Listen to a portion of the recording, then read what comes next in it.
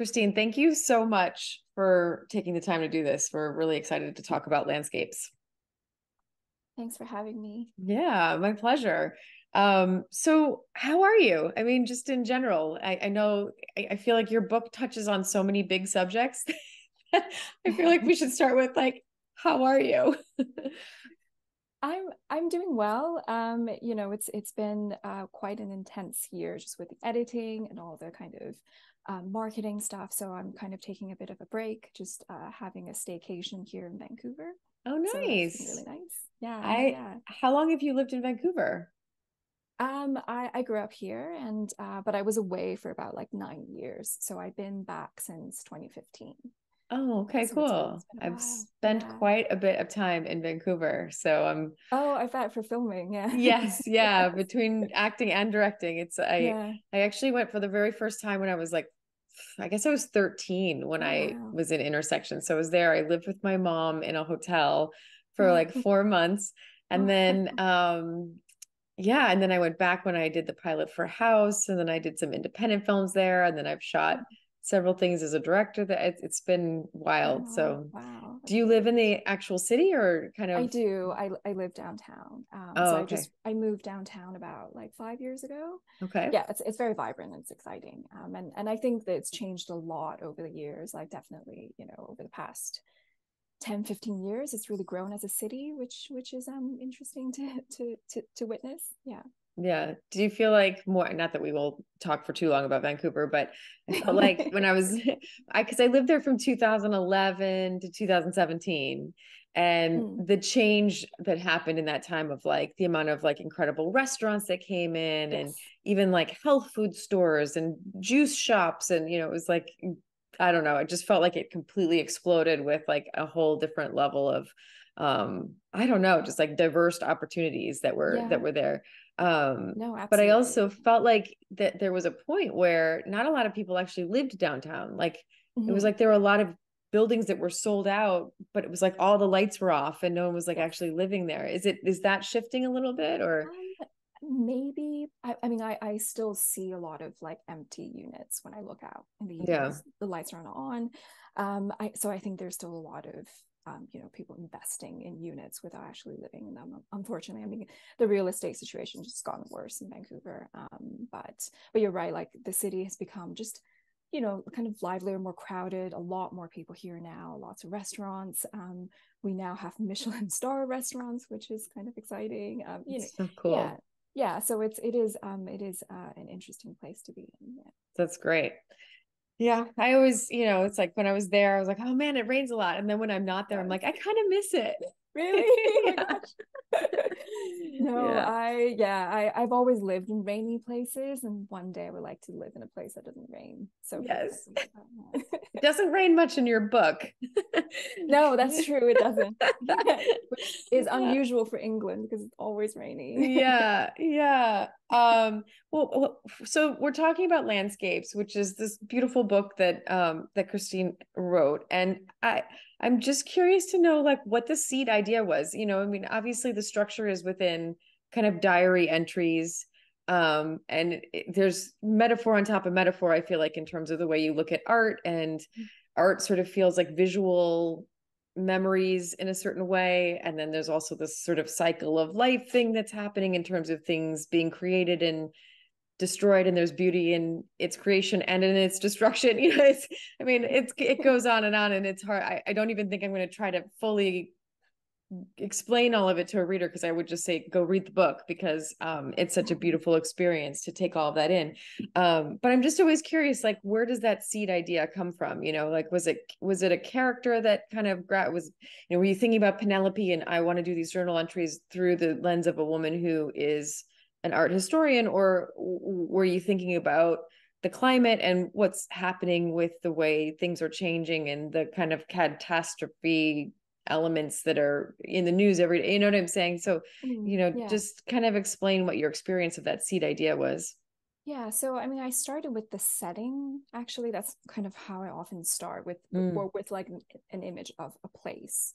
Okay. So in this case, it was kind of the dilapidated country estate. I've always been interested in country house novels, like um, Ishiguro's Remains of the Day. So I think there's this like long history of novels set in country houses. Yeah. But um, I was specifically interested in, uh, you know, a house that's kind of ruinous. It's falling apart, um, and um, the the novels of W. G. Sebald, um, who's you know always a huge source of inspiration for me. Um, he has all of these dilapidated houses um, and buildings in his novel, so that's kind of where a, a lot of that came from.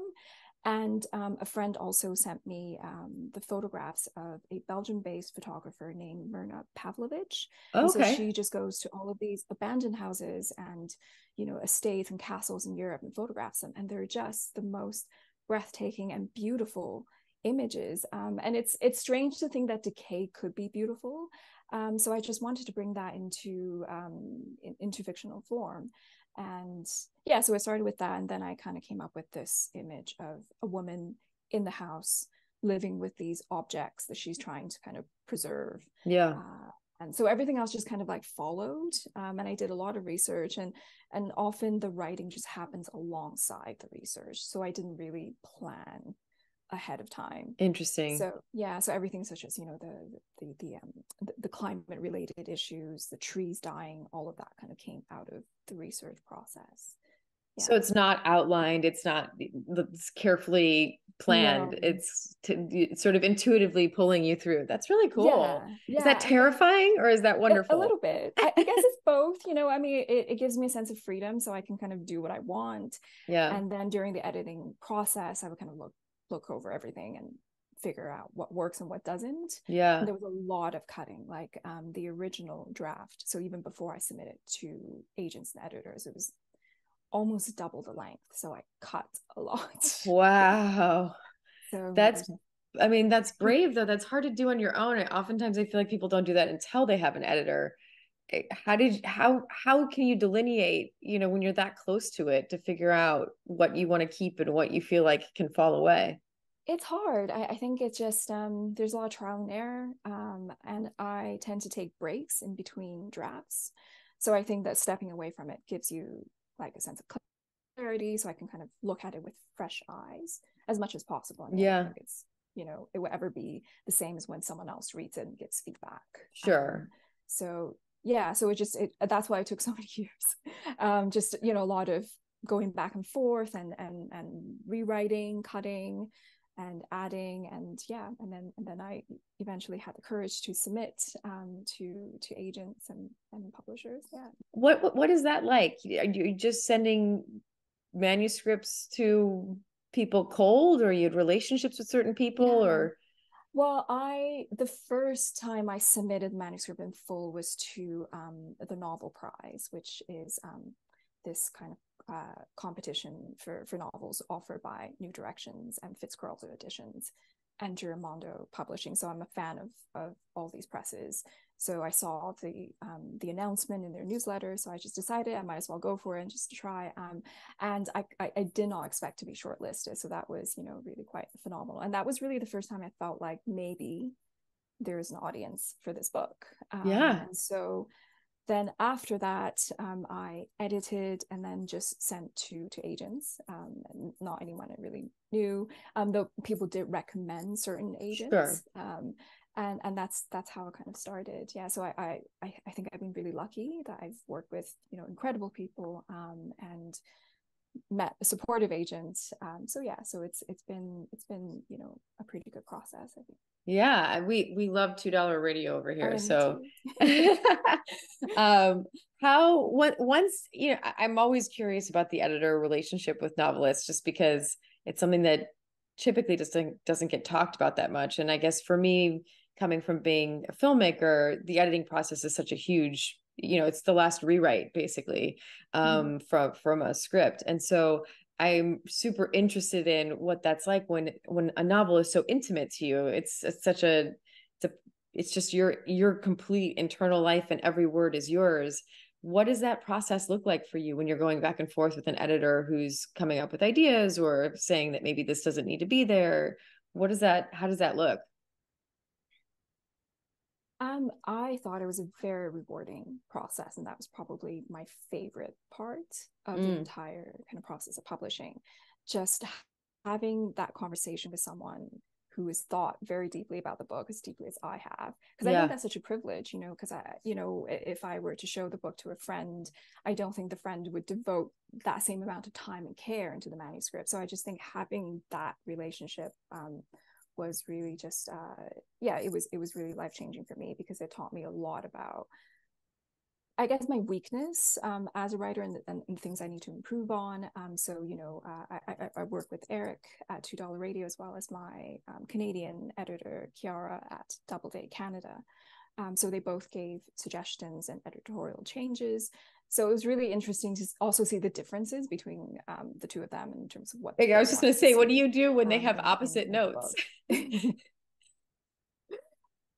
there were a few instances where, where they did have um, opposite notes and i just had to kind of like either find compromise or choose which one yeah. i felt um, was easier or um, more compatible with the rest of the book yeah um, and it, it, yeah they, they gave me a lot of freedom in terms of what to do so a lot of the suggestions were kind of vague like i don't know um uh you know there needs to be more emotional intensity so it's it's not something very very specific most of the time so i find that the the the kind of broader suggestions more challenging because I could, uh, you know, approach um, something like emotional intensity in a number of ways. Sure. Um, so, so those those few months of of doing the substantive edits were, were quite stressful um, and just because i knew there was a deadline and i had to do all these changes um, but i think it was at the end is very worthwhile you know i think the book is stronger because of these edits um, that's cool and, and same with the copy editing as well you know um, just going through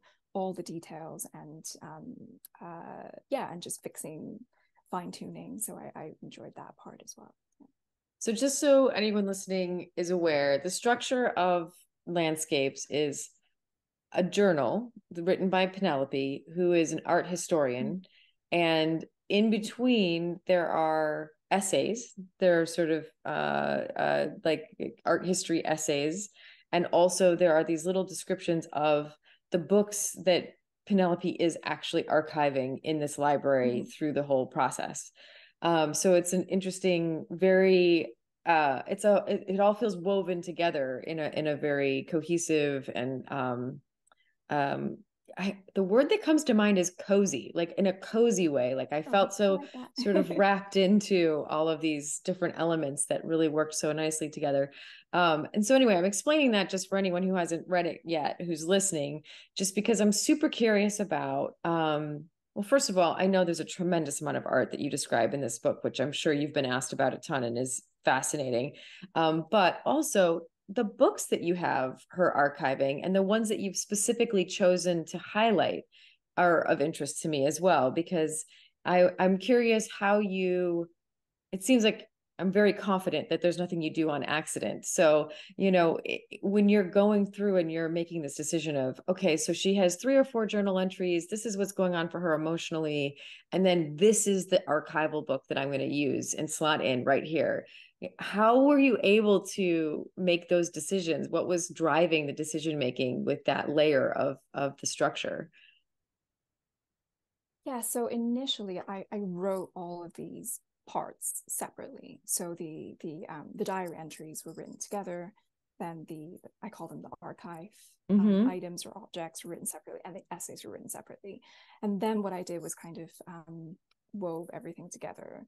So the the the kind of the, the dovetailing only happened afterwards oh, um, oh wow. and so so yeah so the objects are meant to kind of evoke certain memories for penelope. Mm. um so essentially i chose items to insert into particular places so that they kind of um, echo or resonate with what is happening in either in her like um, in in her daily life or in terms of what she is remembering Um, so so it's all of that is meant to kind of they're meant to kind of go together. Um, a lot of the books um, that are included in the archive are actually books that were sources of inspiration for the writing of, of landscapes. Oh, that's um, cool. So that um, that kind of reference as well. Um, yeah and the the art essays um are, are meant to be written by penelope and i was wondering i was going to ask you that actually later, i was like I, they feel like in the, in the book okay i was like am i that these are her essays.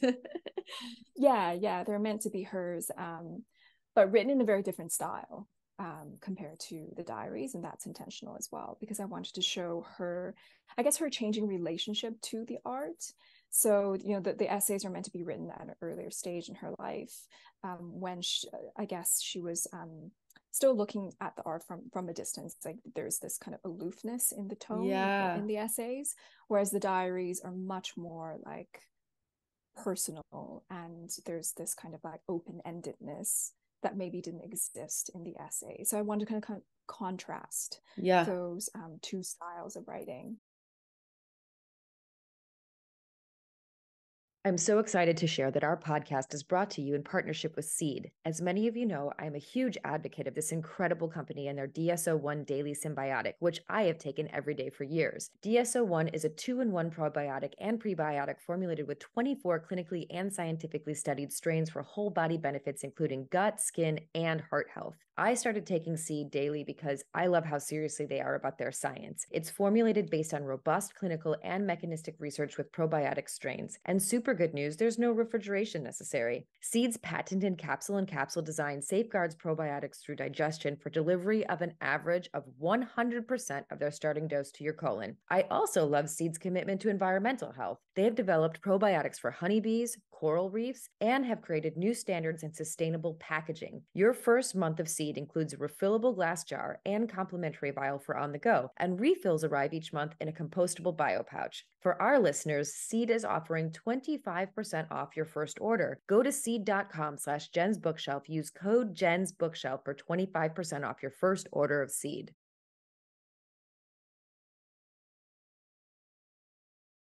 How much did you toil over the visual descriptions of the I feel like thousands of paintings that you describe.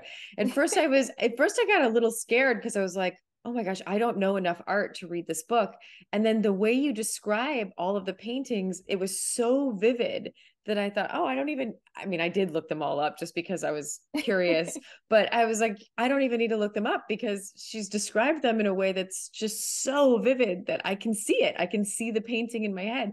But uh, what's that process like to to kind of get to a place where you go, oh yeah, I I definitely described this in a way that a reader could see it in their mind at this point. That was really challenging. I mean, I I love art even though I don't have a background in art history. Um, and I often find myself, you know, standing in front of a painting or a sculpture and just like not knowing what to say. Because mm. I think they they just, you know, art that really moves you, it they just pose such a challenge um, and they, they really challenge language. Um, so you know, it was it was something I really wanted to to attempt to to describe artwork because I think it, it's it's um, you know it, it's it's tremendously difficult, but it's very rewarding, and yeah. I get to spend a lot of time with uh, a piece of art. I mean, you know the, the image yeah rather yeah. than seeing them in person. I mean, a lot of these I have seen in person, but but they're obviously they're not here. Um, and I I I didn't travel to, to to see any of these in person. But um yeah actually a lot of right, uh, readers have told me that they um they they're always like googling when they're as they're reading the book. Oh i mean so much. I have i have a whole file of like images saved from google where i was like whoa holy cow. But it became almost fun to go back and forth between it because i was like okay you've given me all these words that have provoked an image in my head of a piece of art i've never mm-hmm. seen. Mm-hmm. and then to look at it and try to sort of compare what your words evoked next to what actually was being described. And it was it's it's really fun. I mean i feel like someone could do like a um an art tour based on landscapes. Like someone could do like a landscapes like museum challenge where you like have to try, try to go and find all the all the paintings that have been oh, mentioned. um yeah so okay the visual stuff i'm trying i just i'm trying to think through all of things. So right so that's what i was going to get to. So you tackle something that is so um huge but it also feels very much like uh i don't know you're you're taking something that is very universal and is very timeless but it's also meeting the moment that we're in right now in terms of the way that you're uh bringing up what has happened in art through history which is you mm-hmm. know some of these more dangerous families have financed it at times and there's this history of the money behind the art having a capitalistic and sort of nefarious uh, origin in some way and yet they mm-hmm. have financed this thing of beauty and sometimes that thing of beauty even though it's done in a beautiful way is representing something violent especially towards mm-hmm. women or toward people who are um, disadvantaged in some way or or um, submissive in some way and so um, I thought that was super interesting. You know, you're talking. There's a section of the book, and I please forgive me for probably paraphrasing it horribly, but um, where you you're talking about, um, you know, how th- these people are saying that they love a piece of art that women are talking about loving a piece of art that's about the rape of the Sabine women, mm. and yet there's talking about the beauty of the brushstrokes and the painting itself and somehow they're compartmentalizing the concept of what's going on in the in the image versus the execution of how they've made the image and how dangerous that can be. And I, I'm just super interested in how you found your way into all that because nothing ever feels like preachy or heavy handed, but it does feel arresting. You know, like it's something that I hadn't thought a ton about. Uh, the amount of museums that I've walked through and just thought, oh, that's really, those colors are amazing or that's beautiful. And I haven't necessarily stopped to take in the subject matter and realize, like, wait, what's actually happening in that image and what subconsciously subconsciously is that translating to my brain? You know what I mean? Yeah, um, I did a lot of research um, uh, about art history, mainly written by feminist art historians. So I'm so indebted to them, and and these books were absolutely eye opening to mm. me um, because b- before I, I did this research, uh, you know, I, I I was very much the same as what you described. I walked through galleries and you know i wouldn't necessarily be struck by the subject matter yeah. um eh, I, and i i've seen the um so i've been to florence and i've seen the Giambologna and cellini sculptures in, in person and i just remember just being in awe of the way that they're able to like manipulate material you know and to make it look like flesh and i was traveling with two male friends and i remember them saying you know it's a bit uncomfortable for them to look at mm. sculpture but that didn't it, i didn't feel that way so i thought that was interesting that that they felt really uncomfortable looking at the sculpture of, of, of the naked women um, but i didn't necessarily feel that way and it was you know it took a lot of just reading and research for me to to to notice that actually if you walk through any gallery um, there are all of these images of, of naked women or um, women who are fetishized and commodified in a particular way. Um, and you know when i was an undergrad i did read um, john berger's ways of seeing um, but i guess it didn't some of those ideas didn't really sink in until i saw these artworks and thought about them in a particular way um, but i and so I, have gone back and reread the book and i love how he um, he you know he puts these like advertising images alongside mm. paintings by the old masters to essentially erase that boundary between high and low art and to to highlight the ways in which you know that kind of fetishization occurs at all levels of culture but we we become so used to these images we don't actually realize yeah. what they what what the implications are and that was kind of disturbing in some ways um when now you know every every time I, I look at something i'm thinking about um these ideas and it's kind of hard to um to unsee them in, in, in some ways um yeah and you know i'm and growing up you know reading fashion magazines like i don't know like teen vogue and you know we're just kind of brainwashed into seeing women and seeing ourselves in a particular way um, so now i'm much more aware of that and um, the way in which these images now also circulate on social media and how they might be affecting young women. Yeah. So i do think it's it's such a relevant topic and not and you know we do talk about that i think in terms of social media and advertisement but not in terms of art. I think maybe some people feel like you know art is it's it's almost like a form of sacrilege to to talk about these ideas yeah and it's intimidating right you know yeah. it's like even people who've yeah. studied art i would imagine it's you get in these situations where it's so subjective and yet certain people take on a tenor of confidence in the way that mm-hmm. they decide that they're going to assess something's beauty or its value and then Absolutely. you feel sort of pulled into that mm-hmm. and going oh well I don't know a lot about art history, but this person who supposedly does, does is mm. saying that this is a masterpiece. I guess I'm trying to see how it's a masterpiece, and I need to find a way to see that, you know, even if what's standing out is, but this horrible thing is happening to these women in this image, you know, and exactly. it's such a, exactly. um, I don't know, it's it's just really interesting to think about the fact that right now it's easy for us to be like, oh my gosh, the world is just the worst because of social media and this and that or whatever but then you look mm. back and we're looking at paintings that are from 500 years ago a thousand years ago like the a version of this has been going on forever from the beginning of time and mm-hmm. and it's part yeah. of humanity it's part of the the thing that we have to constantly sift through as human beings on a daily basis to to figure out how to break free of the ideas other people have about wherever we fit in society Absolutely. Yeah. And I'm glad that, you know, there are more books about the subject now and, you know, books about the role that women artists have played throughout history. So I feel like there, you know, the, the conversation is is shifting and yeah. there's kind of greater awareness. And I think that that's very positive. Um, there's still a lot of work to be done. Um, oh yeah. yeah. um, so I'm just hoping to kind of contribute to that in a in a tiny way and just to, you yeah. know, to be able to kind of bring people's attention to to um, to these artworks and and um, to you know what what they're implying. And yeah. And you know I hope that people find the essays uh, interesting. Though I did I did speak to like an acquaintance um, about the art and someone who's very interested in the art and you know they th- their reaction was you know why would you attack something like titian's the rape of europa? Because it's a beautiful painting. Huh. there shouldn't be we shouldn't find we shouldn't be finding fault with something like that. And and so i thought that was an interesting response. And i just said well we're not finding fault with it i think we're just re- recontextualizing this painting which i think makes it more interesting. You know it makes it relevant to our times. But i think that there is this resistance maybe um, well yeah but it's that's it's like everything right now right? You know it's just like yeah. are you allowed to watch the films made by a filmmaker who has yeah. you know been in trouble for some things that are exactly yeah.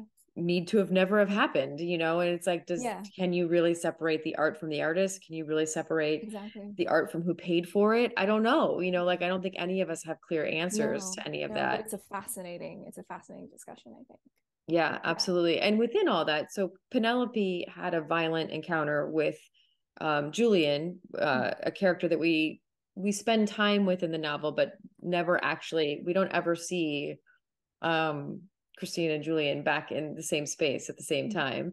Um but which I I want to talk about later. But um but eh, so she is unpacking that amidst all sorts of things. You know, there's like a real theme of permanence versus impermanence in this novel mm-hmm. of things that are changing and passing and that we don't have control over the things that are changing and passing and um you know penelope is getting ready through this whole the whole story to leave the home that she's been in for this long time and live a more nomadic life in a mobile a home that actually like moves um but in the midst of trying to get there she's also trying to come to terms with um this memory she has of this violent encounter with julian um and the art seems to be in relationship with her trying to come to terms with that memory mm-hmm. um for you what was that like trying to build out those parallels and figure out how far to go with how much she was revealing of what happened and what didn't she, what she didn't reveal of what happened um, what what was that process like for you in terms of building those two parallel things out in the storytelling um, so Penelope's backstory, I guess that that was actually inspired by a Turner painting, um, mm-hmm. uh, the rape of Proserpine, um, and you know in, in that painting um, Proserpine is in, in in a corner of the painting. She's barely visible. Mm. but what's more visible is this um, this barren tree kind of in the foreground of the painting. And in the back um, in the background of the painting kind of in the middle you see um, this kind of ruinous castle or fortress in the distance. Um, so that just kind of um, got me thinking about like different kinds of ruination so you mm. have you know the ruination of the building um, of, of, of you know the the the dying tree and the ruination of a person. So uh, so that's where that came from. And from there i started doing research about representations of sexual violence in art. Um, so that kind of then became a part of the character. So initially she really didn't have she didn't have that backstory. It was it was you know just her being in this house uh, going through the archive. Um, and I think that adding that really changed the overall tone of, yeah. of the story. Um, and, and, and of course it changed the relationship between between these two characters. So I wanted to um, to tell a part of the story from from his perspective in some ways. I wanted to explore the psychology of of someone who who has done such a thing, um, yeah, such a crime, um, and yeah and and that was quite challenging because you know he is a character who is very opaque to himself. So it was hard to uh, portray that opacity because um, i you know at times it felt like i i couldn't see him very clearly because he couldn't see himself clearly. Wow. um, so i used um yeah so i wanted them to have very different approaches to art um, so he is also someone who is very interested in art. He's obviously a collector, um, but his relationship to art is very much about like possessing certain artworks in a legal capitalistic yes. sense. Like he purchases yeah. and collects them, but he doesn't. They don't speak to him in the same way, and he he struggles to to to understand them, despite huh. his attempt to to to get to know more art to you know he he he he struggles to read um, kafka so there's all this like attempt to um to i guess uh to reach a deeper level of understanding um, and to have um, to accumulate meaning which he continually fails to do uh, hmm. versus mm. penelope um, who um, for whom art is very much a part of how she relates to the world and how she um and how she uh, deals with her own past. She feels like she yeah also well there's this beautiful you know yeah it's beautiful. There's a beautiful bookend of the way she projects herself into art too that occurred to me when mm. i was mm-hmm. actually going back through the book. It didn't hit me the first time through but she looks i can't remember if it's a painting of or a photograph of julian and aiden's family. Oh yes it's a, a painting yeah. A painting. And so she she almost wills herself into that family painting mm-hmm. by projecting her you know she p- propels herself into first julian's life and then aiden's life and then she now in a weird way has painted herself into their family painting mm-hmm. and then in the end you sum up where she's come to in her projecting I'm it feels to me like a younger version of herself or a more innocent version or a new reborn version of herself into this la- a new landscape of yeah. you know realizing that she's able to let go of certain things and able to let certain things pass by her and that that's okay and that she's going to what she has is to come home to the people that she loves and and that doesn't matter how impermanent certain things are there's certain things that are going to continue to fulfill her and and move her forward.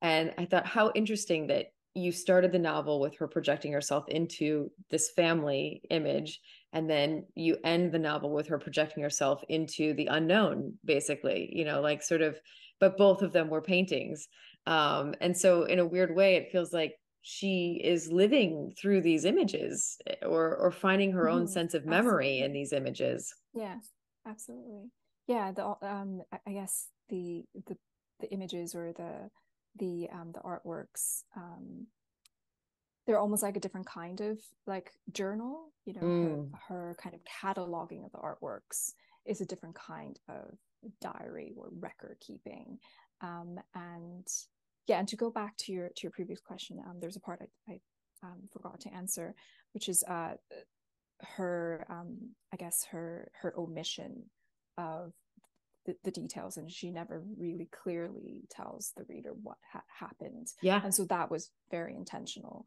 um, because i read so many um, books uh, about representation of sexual violence um, and, and, memoirs as well and you know I, I was very conscious of the fact that um, th- there's a fine line between representation and I think commodification, and so mm. I didn't want to um, to risk that. Um, yeah. So it was, it was, on the one hand it was an aesthetic choice, um, but on the other hand I think it was also ethical for for me. Like I wanted to be respectful um, and to be compassionate um, and to bear in mind that you know there are real people who go through this um, so so i chose to kind of really step back and and and that's never so so the the the event itself is never described um, yeah and there's this kind of void in the middle of the book um, that echoes a lot of the other voids you know like the gaps on the the walls and all of these like missing objects so mm. so there it becomes a kind of part of a, a like a motif As many of you know, I love my coffee. I love it in the morning. I love it after lunch. I love it after dinner. I've even been known to take my coffee in the shower with me, which my husband thinks is really weird. But he recently introduced me to Amigo Coffee Roasters, a farm roasted coffee brand from El Salvador that's on a mission to improve coffee's traditional supply chain and give back to our friends who make it all possible. Amigo wants you to join their mission to seek quality and accountability in coffee in our communities and in our world. Visit www.amigoroasters.com, learn about their mission, but more importantly, you can support them by making a purchase. And for all you listeners, they have been kind enough to give you a 15% discount. Just go to www.amigoroasters.com and use the code Jen's Bookshelf at the checkout. I mean, I, I hope that that um, that that it worked. Um, I mean, I, I, listen. I'm no expert, but in my experience of reading it, I feel like it really works. It it may it leads me to my next thing, actually, though, which is uh, what I was starting to mention earlier about the fact that we wait and wait and wait for Julian to to arrive at Mornington, yeah. and then the book ends before he gets there. he's like about to be there. Um, I'm like, wait, what do you mean he's a month away? Like, um, but um have you ever thought about like a book two uh, where because i i mean i can't help but just be I, I, have this fantasy of just seeing how this all plays out. I mean it's it's such a compelling setup of you know the the brothers both both of them having been intimate with penelope. So you know penelope originally has a relationship with julian. There's a violent act that occurs. There's also a sort of I don't know. It feels like there's a tension that's between them that's always a bit unhealthy mm-hmm. or toxic in their relationship. At least that seems to be implied in the journal entries. Mm-hmm. Um, she's anticipating having to see Julian again now that she's married his brother or life partners with his brother and has quite a beautiful relationship with Aiden. It feels like it seems like a very balanced and like what really struck me is that they give each other a lot of liberties you know that i don't feel like they're on top of each other to need to know everything about each other in every given moment even though they're living in a time where they are kind of living on top of each other mm-hmm. you know um but um i just feel like you have just set the most incredible stage for the three of them having to deal with each other are we is there another is there landscapes a more landscapes or um no not not at the moment i mean i yeah i guess uh yeah other readers have told me that they were surprised that yeah they never meet because it seems to be building up to that so i wanted um something that was kind of not an anti-climax um but um, my editor says it's like a decrescendo you know mm. it, it, mm. seems to build up to something but actually doesn't um and so it, it's because for me that that's more true to life yeah you anticipate certain meetings or events and they don't happen um, yeah and of course because of the way it's written so so you know julian's chapters are set in april mm-hmm. um, and penelope's diaries end in march so we are like readers already know he's not going to go back um, and they will never meet but she does not know that by the mm. by the time the mm. book ends she is still anticipating this encounter and kind of um, you know telling herself that she is brave enough to to face him. Um, yeah. um, but that's actually never going to happen. Um, and i think that uh, the turn him turning back or turning away um, was an important part of his character his in- his inability to to face himself and his past. So he has a kind of like pseudo epiphany towards the end of his section um, where he seems to be um, coming to some sort of realization but it's never clear what that is. Yeah. And, that's intentional as well. Um, and so you know the readers never really get to know what happened to him and penelope doesn't as well uh, either. So it's there's yeah i wanted to for um, him to remain quite an ambiguous um, character. Yeah. Yeah so i think that the the choice to to not return to not see her um, is something that kind of matches the rest of um, him as yeah as a, as a, person yeah. How do you think aiden yeah. feels about all of it in the end? Um yeah it's uh yeah he's he's I, I regret not kind of sketching more of him. It just it, it was really out of consideration for space. Um i didn't oh of want, course. I didn't want a very long novel. Um you know i wanted something that's kind of compact um but i think that there's the the, the relationship between the two brothers is definitely not a great one so there's there's always been tension between them and and um there's one part where where uh you know, um, we, we find out that Aiden knew about Julian's previous romantic relationships, and he disapproved with uh, of how Julian had handled those relationships. So, yeah. so all of this happened before either of them met Penelope. So there's mm. this, this this history of, I suppose, tension and and resentment um, towards one another um, and and we know that they you know they they they share the, the loss of their mother so neither of them really had uh, a very happy childhood and their father was very absent um, so I, I hope that those details kind of hint at the sort of upbringing that they had um, mm. and and also just to highlight how different that that they you know they've become despite yeah. the fact that they share um, very similar um, circumstances as children yeah. yeah. And also I feel like um just thinking about their upbringing versus Penelope's upbringing mm-hmm. versus some of the world around them because mm-hmm. as you built out this sort of oh gosh i don't even know it's in the near future but climate mm-hmm. crisis mm-hmm. post climate crisis situation um you talk about these big domes that are over certain sections of things for there to be breathable air and uh, you know places that have been so touched by catastrophe that they're unlivable um, and it feels like that very much speaks to class and who can afford to mm-hmm. live in places where the air is breathable or where they're untouched by catastrophe um, what was your intention there in terms of what you were wanting to roll into this whole journey in terms of class and what that means as we're facing a climate crisis in the world right now yeah i mean class was a very important um, subject for me so i always knew i wanted to bring that in and that that was partly um, the reason why you know i wanted to, to to set in the country estate as well because i think the country house is a symbol of privilege um, mm. and of wealth and of course a lot of these houses were funded using money from from the colonial enterprise. So, so there's that aspect to, yeah. to the history as well. Um, and um, yeah, and Penelope coming from you know working class background has a very different approach to ideas of possession. You know, so she for her um, possession of an artwork, for example, happens through understanding, through living with the art and mm. loving, caring for a, um, a, a piece of art. Whereas for for Julian, it's very much about like possessing in terms of buying it and right. having it on his wall. Um and yeah and i think that you know um when it comes to relationship between class and the the climate crisis that's something that you know i see on the news all the time.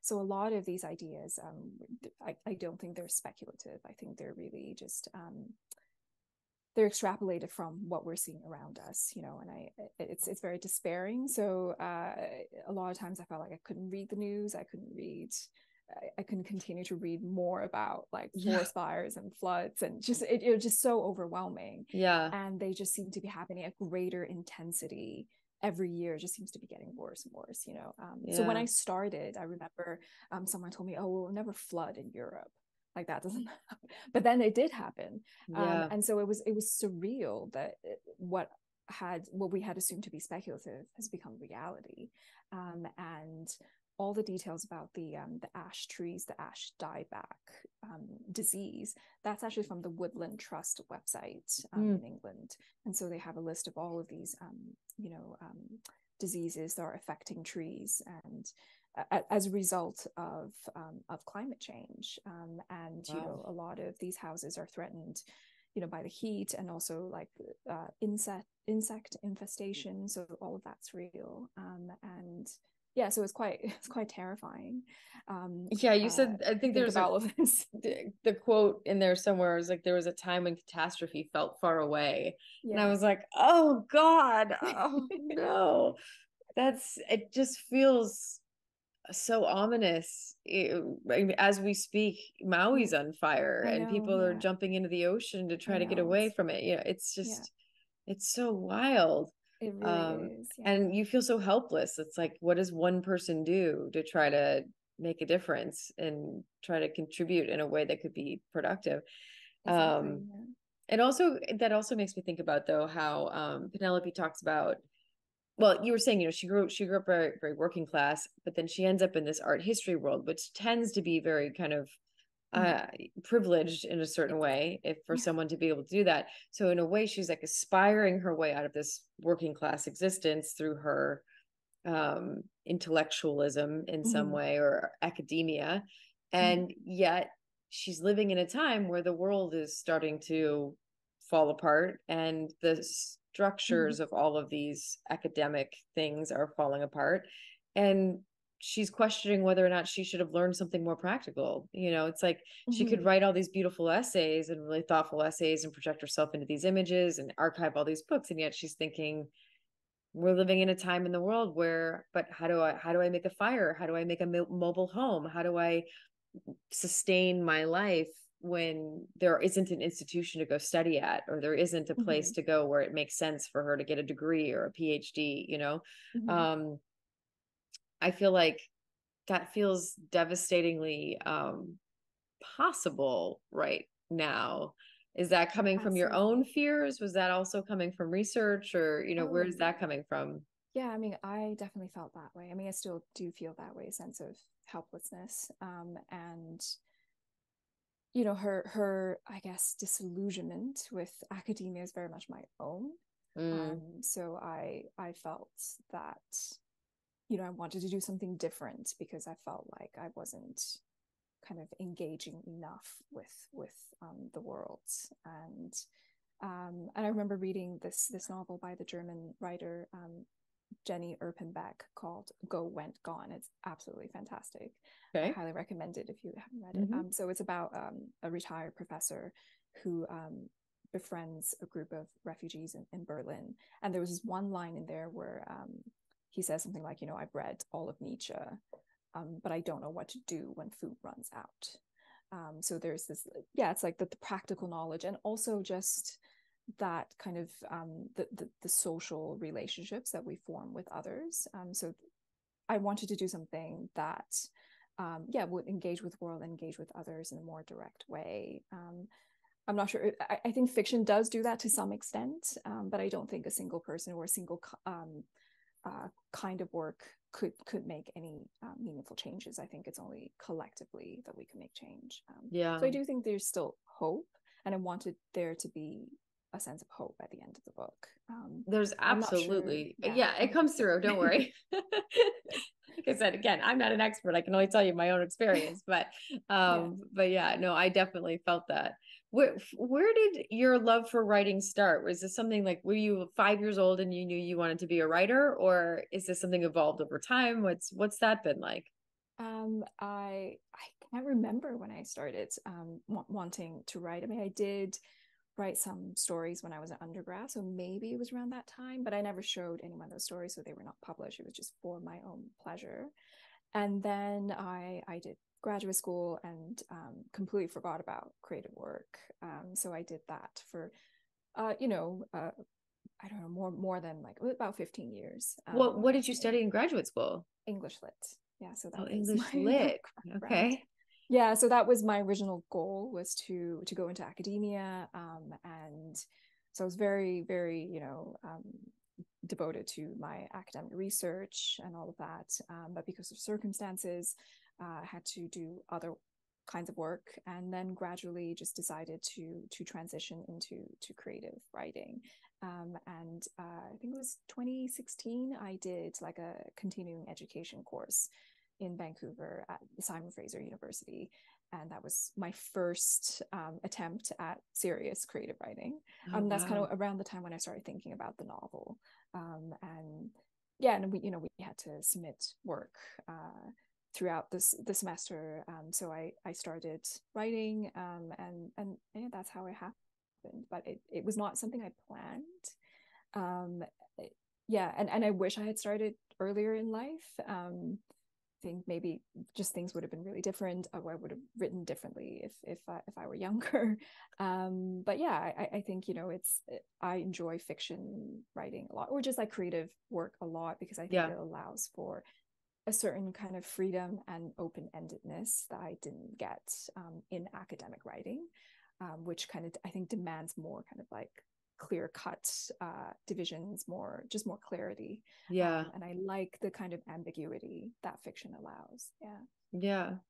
And so as we're getting to the end of our time here, I always my last question is always um was there a piece of advice someone gave you along the way that you felt like stuck with you or kind of helped you push through from academia to I'm going to be a fiction writer and I'm going to commit to writing this novel um, you know was there anything along the way that was advice given to you that you could share with our listeners um I actually did think about this question because I know you asked this at the end of interviews, um, and I couldn't think of anything that anyone told me like in person. Um, but I, I collect a lot of quotes from artists, from writers, you know, when when they they give yeah. advice. Um, and I have like an entire notebook of of quotes, um, especially when I was first starting out and I didn't really have many writer friends. So, so these quotes were very um, important to me. And the one that really sticks out is actually from Louise Bourgeois, the the French artist, mm-hmm. um, whom I reference a lot in the book. And she she has this quote. I think it's from from an interview actually, where she, um, I'm paraphrasing something like, "Art exhausts me." Yet I work every day of my life. Um, mm. And I think it's just like a reminder to persevere yeah. regardless of what happens and yeah. to always come back sorry okay. to to the desk to keep reading and keep writing um, and so that's kind of what i try to to to remind i love that. yeah yeah it, I, that makes a lot of sense. And in that too i'm realizing are you you must be an incredibly avid reader because you've yes. i'm assuming you've read everything you archived in this book. Um yes. uh, how, how do you have a regiment antiquarian books yeah do you have a regiment to your day that gives you space to know that you're going to be able to read for a certain amount of time and write for a certain amount of time or is it just you know random when it happens or how does that how does that look for you? Yeah i read i try to read every day. I mean there are some days when it's you know more difficult. Um, i don't write every day so i i um, kind of write when i've accumulated enough ideas from the readings. I mean i, I still think that reading is is the most important part of mm. of the writing process. Um, and i i'm also you know a book collector I, I, I collect books way faster than i can read them um but i just i mean i love being uh, around books and to to always kind of be engaging with them and having these like kind of dialogues with amazing. Well again thank you so much for for joining us. I it, landscapes is just such a beautiful intimate internal journey that I, like I expanded my horizons in multiple ways as I read it, which is just such an unusual thing to not only just enjoy a read so much, but also be able to learn so much. So, um, yeah, thank you for hanging out with us. Thank you so much for having me.